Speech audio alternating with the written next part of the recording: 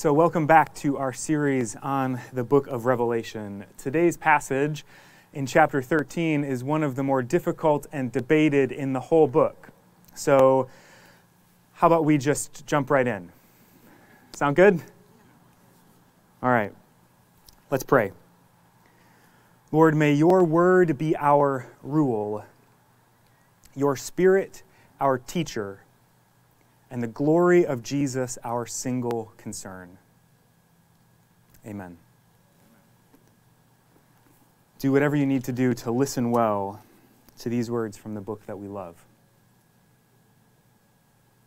Then the dragon stood on the seashore, and I saw a beast coming up out of the sea. It had ten horns and seven heads and each of its horns was decorated with a royal crown, and on its heads were written blasphemous names. The beast I saw was like a leopard. It had feet like a bear's and a mouth like a lion's mouth. The dragon gave it his power, throne, and great authority. One of its heads appeared to be slain and killed, but its deadly wound was healed. The whole world was amazed and went out to follow the beast. They worshiped the dragon because he had given the beast its authority, and they worshiped the beast, saying, Who is like the beast?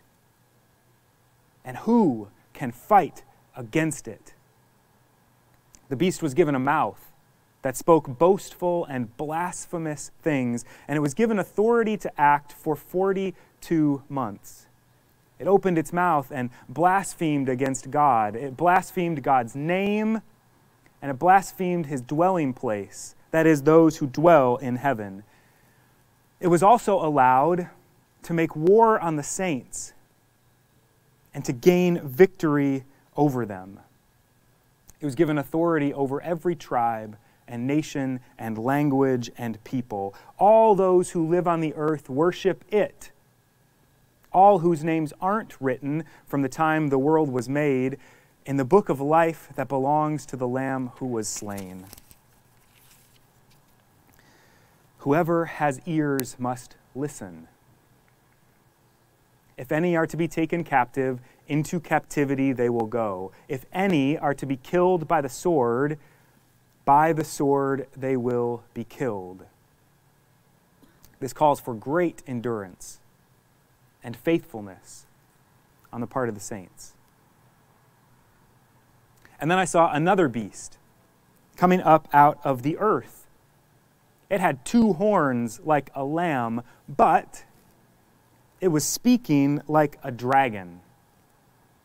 It exercises all the authority of the first beast when it's in his presence, and it also makes the earth and all who live in it worship the first beast, whose deadly wound was healed.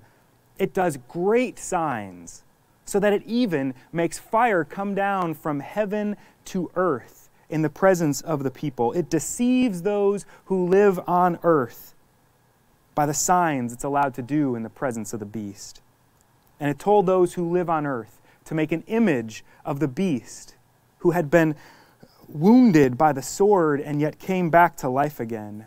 And it was allowed to give breath to the beast's image so that it might even speak and that it might cause those who refuse to worship the beast's image to be put to death.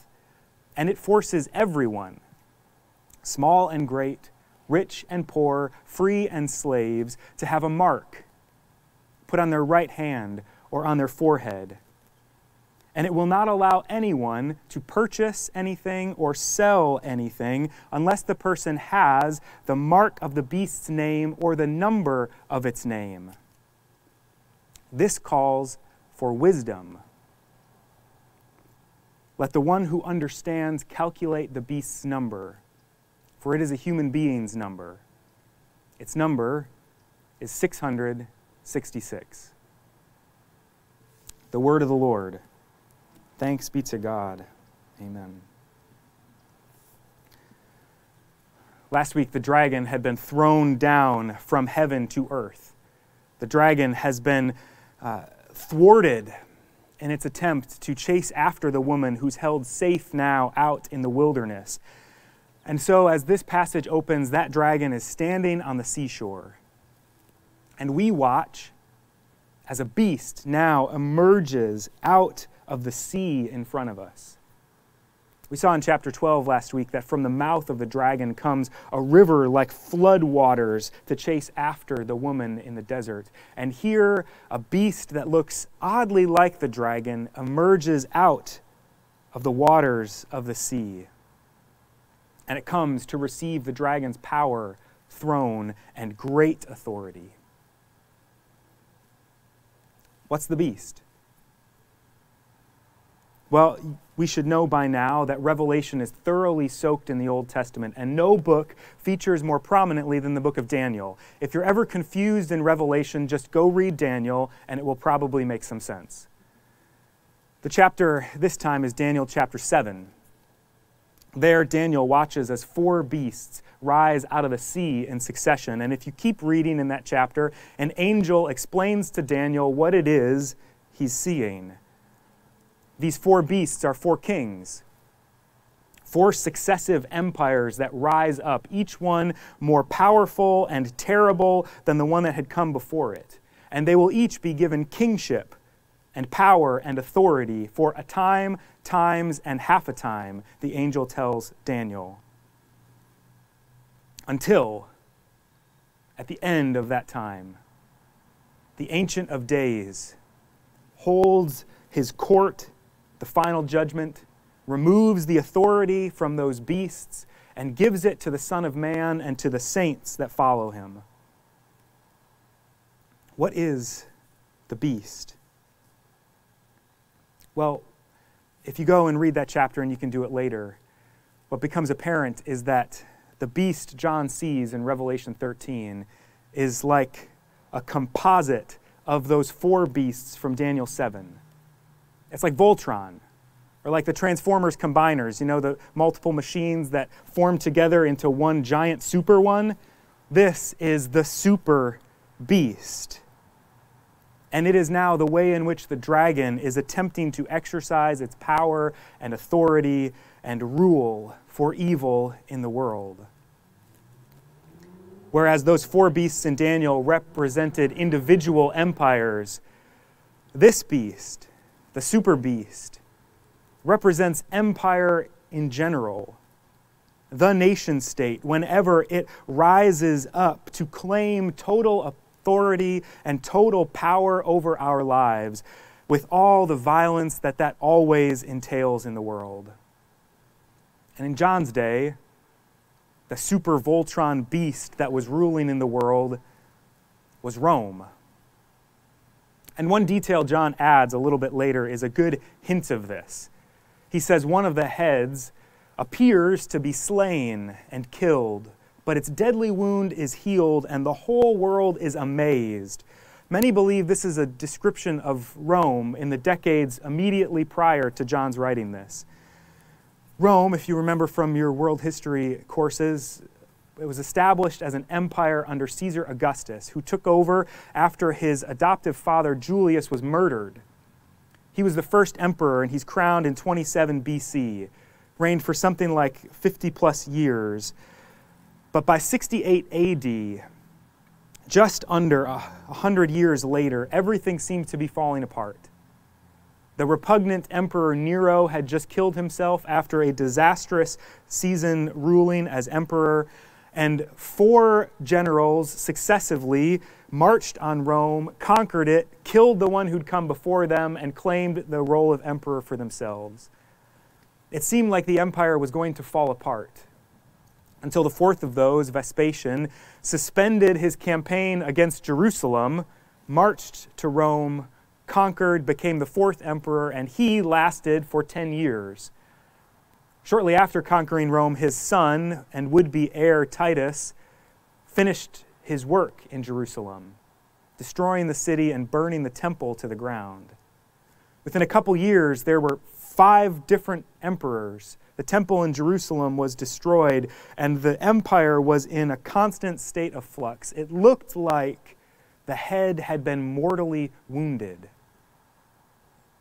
And yet, out of the ashes, the empire rises again.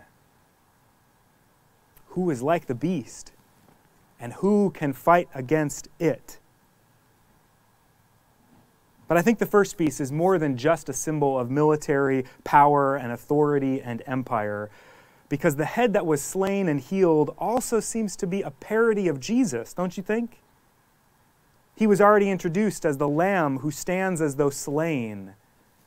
He is the one who conquers by dying and rising again. He's the one given his Father's throne. He's the one given authority over every people, nation, language, and tribe. The beast is just a parody, is just a bad copy, a fake, an impostor. And it's claiming power, authority, and rule that is not rightfully its. Even its worship song, Who is Like the Beast, is just a cheap copy of Moses' hymn that was used in a number of Psalms Who is like the Lord our God? The first beast that comes up out of the sea with ten horns and seven heads, themselves symbol of total power and authority, is Rome. But it's also Babylon and it's also Persia, and it's also Greece, and it's also every empire and every nation that claims this authority for itself, that demands our ultimate allegiance and tries to take the place of God, supplant the true Lord, the Lamb who was slain. And speaking of lambs, John then sees another beast, not come up out of the sea, but this one comes up out of the earth and it has two horns like a lamb. The parody continues, apparently. A lamb appears, just like the lamb who appeared in the throne room back in Revelation 5, but this lamb is speaking like a dragon. It's not a wolf in sheep's clothing, it's a dragon in lambskin. It's speaking like a dragon. The dragon, remember, is the deceiver of the whole world. And so this second beast, too, takes up the work of deception. It fools the people of the world and tricks them into worshiping the first beast, even convincing them to make an idol, an image, even animating that image to trick them into worshiping the beast, and by worshiping the beast, worshiping the dragon who gives him its authority. And yet, if we look closer at this second beast, it's not just a hype man for the first. This appears to be a parody of something too. We're told that it's given the power to do great signs in the presence of the people, just like Moses had done. It's also given the power to call down fire from heaven to earth, just like Elijah. Moses and Elijah, they were our two witnesses back in chapter 11 that stood for a symbol of the whole church in its role as witness in the world. It seems this second beast with two horns is also impersonating the two olive trees, the two lampstands, the two witnesses, the church in its role of witness in the world. If the first beast is a parody of Jesus, the second beast is a parody of the church. And it goes on to be described with language that make it an evil impostor for the Holy Spirit and for the prophets and the church as witnesses. And just like it's our role to bear witness to Jesus, to call forth faith from the world, it's the beast's role to call forth worship for the first beast and to demand ultimate allegiance. This is the role of the second beast the propaganda machine of the first, the hype man, the anti apostle or false prophet of the antichrist, and it's spreading an anti gospel. In John's day, Caesar is Lord, and Rome is the bringer of peace. This is the role of the second beast. And for the seven churches who first received these letters, they would have known exactly what it referred to the fastest growing religion of their day the worship of the emperors. What we know from archaeological evidence is each of those seven cities had local temples and statues and shrines for the Caesars, for the emperors. We know that their leaders were fighting amongst each other for the privilege always of building new, bigger temples and shrines to the emperor, that they were forcing the worship of the Caesars on their people to make themselves look good before the empire. That if they could force their whole cities to offer grander and grander sacrifices to Caesar, they might earn Caesar's favor and the power and wealth that came along with it. We know that some of those cities the residents were forced that when the imperial parade would come by their house, they would have to go out and offer sacrifices to it. That in their trade guilds, they not only worshiped the gods of their individual trades, but also began at this time to worship the emperor. So, what are you to do as a Christian in that context? As a tiny, powerless minority in the midst of the empire, what are you to do? Do you go along to get along? I mean, is it really that big of a deal to offer one little sacrifice to Caesar? It's not too big, right? To do just a little compromise here or there so that you can continue to provide for your family, so you can make a living, so that you can get some work. I mean, Jesus will forgive you anyway if you do this little thing. You know where your heart really belongs, right?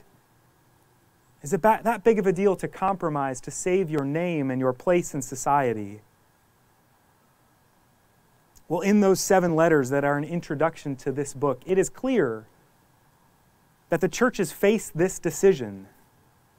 It's clear that there were false teachers among them telling them it was okay to compromise, that they were facing persecution, some of them to the point of death, for refusing to participate in the empire's worship that they were tempted to value the health of their economy over their fidelity to Jesus. That Jesus' message to those seven churches in the midst of all of that is always the same persevere, endure, do not compromise, strive on and remain faithful so that you can conquer in the end. And by now, we should have learned that conquering in the book of Revelation doesn't always look like what we want it to look like. After all, the lion of the tribe of Judah, the root of David who has conquered, is a lamb who was slain. And we are that lamb's army of martyrs. Authority over every tribe and nation and language and people has been given to the beast for 42 months. There's that time again 1,260 days, 42 months, three and a half years, as Daniel said it, a time, times, and half a time. The symbolic period of persecution, of evil, before God's judgment comes. And in case we haven't yet connected the dots, John pauses from that vision and tells us, makes sure we hear exactly what he's saying it was verses 9 and 10. Whoever has ears must listen. If any are to be taken captive, then into captivity they'll go. If any are to be killed by the sword, then by the sword they will be killed. This calls for great endurance and faithfulness on the part of the saints. In other words, I wasn't kidding back in chapter 11 I wasn't kidding. I meant what I said. The two witnesses of God will be killed, the church will be trampled, and the world will rejoice when it happens. And this is God's plan. God's kingdom will come to earth. God's will will be done as it is in heaven when the church follows the way of Jesus holding fast to its witness even to the point of death. And it's in embracing that witness with our lives, enduring the evil of the world for Jesus' sake, accepting persecution and death as it comes, and allowing God's grace and mercy to be made real and alive in us. It's then that the nations will repent it's then that the kingdom of this world becomes the kingdom of our Lord and of his Christ, and he will reign forever and always. And as John says, this requires much endurance and faithfulness on the part of the saints. But as he says after the second beast, it also requires great wisdom. and great discernment. For when are we to know when a nation becomes the beast? Which are the false prophets? Which signs come from God and which ones are done by the second beast, acting on the authority of the first and the dragon? And what does any of this mean for us? We who are privileged enough not to live in an age of open persecution, while there are Christians around the world today who do. Does this have anything to say to us? I think it does. Because I think that every nation, at some time or place, begins to act like the beast. And I think in America, we have been generally too distracted trying to figure out the personal identity of the Antichrist, the name that means 666, to recognize the way in which our political parties and the nation itself have risen up to claim total and ultimate allegiance and become, in a way, beast like.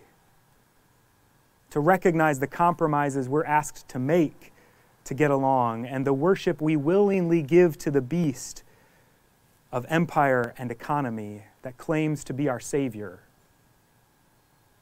I think Christians do sometimes get distracted by the mark of the beast and the 666 and trying to figure out who this figure is. So, spoiler alert, it's not Trump and it's not Biden.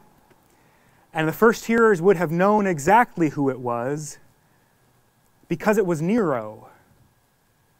Emperor Nero, when you take its, his letters, assign numerical values, and add it up, it's 666. And while he would have been dead by the time John wrote this letter down, if you had to conjure up a picture of the evil of empire, the excesses of wealth, of evil and immorality and violent persecution of Christians, there would have been no better candidate to bring to mind than Nero. And yet, 666 is also just shy of seven three times over. Seven, the number for persecution or for perfection and completion in the Hebrew mindset. We come almost, but not quite three times. It's like an unholy trinity of imperfection. The perfection of the incomplete.